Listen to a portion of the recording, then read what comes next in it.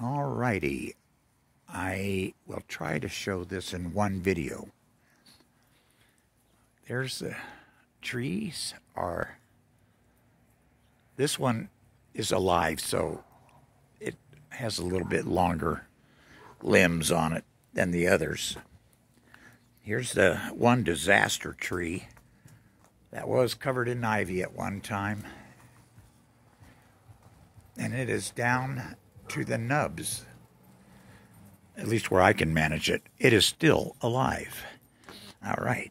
Oh, wait, I can get the a couple of trees from this side. Oh, and those. Uh, that one. And this one I cut down last year. And they're sprouting out again. They'll be fine. And there, it's kind of hard to see, but you can see the white lines around the limbs where I said cut it down to that. And then there's the other one on that corner. Now, let me, uh, let me, uh, what the heck is that wild animal? Be sure to get in the cactus so we can get you out of it, okay? Okay, Dad. That's always fun. Oh, boy. All right. Let me try to pause this and get the other two trees and such. Okay, just a second. That's a tree I left off that you can see from the front yard. The palm just grows. I don't water it. And this one, right out the backyard, oh boy, was that nice shade. So is the other one.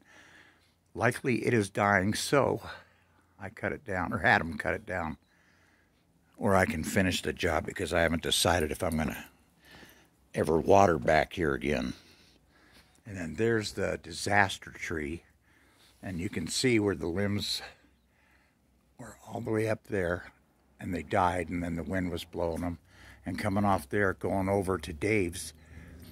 As long as that is, it was that far over in his yard.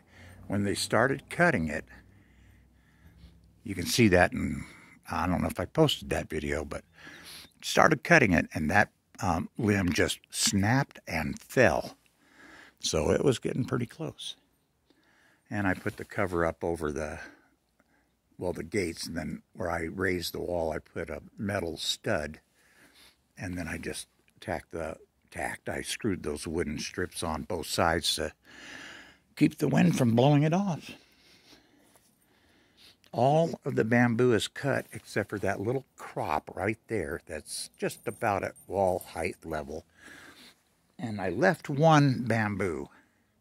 Look how tall that is. Is that shocking? And they left it. And that's where that other uh, stump, eight foot stump is, those are alive. They will sprout. I can manage those when that happens. What else? Anyway, they left that bamboo. Isn't that crazy? World is crazy right now. And that's it for this update. Oh, you can see the the Honda Express. I'm it's ready to try to start it. I had to uh, make a, an adjustment on the carburetor. I goofed up. It's an aftermarket carburetor, and I adjusted it way wrong. And now I believe it is adjusted right, but it's just been way busy here. So that's the report. Thank you.